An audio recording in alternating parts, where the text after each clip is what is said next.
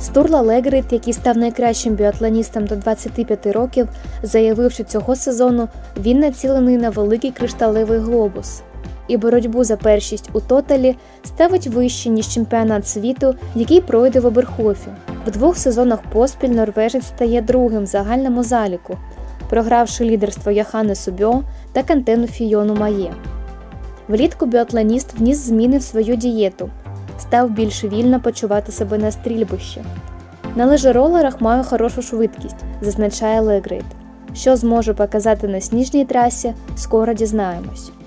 Свою ціль стати переможцем загального заліку Кубку світу норвежець називає наступним етапом своєї кар'єри. А ось у Доротеї Вірер, здається, немає надії отримати третій кришталевий глобус. Це буде дуже важко, зазначає італійка. Вона вважає, що одним із головних претенденток на лідерство в загальному заліку є сестри Еборг. Також, зі слів Доротеї, можуть себе добре показати француженки та Деніс Херман Вік.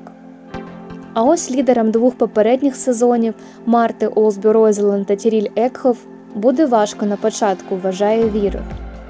Їх не варто недооцінювати, дає коментар італійська біатлоністка. До чемпіонату світу вони точно будуть в формі. До речі, збірна Франції зазнала втрат. Анаїс Бескон закінчила свою кар'єру, а Жюстін Бреза Буше пішла в декретну відпустку. Проте 26-річна француженка у недавньому інтерв'ю підтвердила, що планує повернутися до участі в Кубку світу на початку наступного сезону, тобто в листопаді 2023-го. Ми з чоловіком вирішили, що потрібно йти в декрет після Олімпіади, каже спортсменка. Так у мене буде трохи часу на відпочинок, щоб мати змогу сповненою сил брати участь у наступних Олімпійських іграх.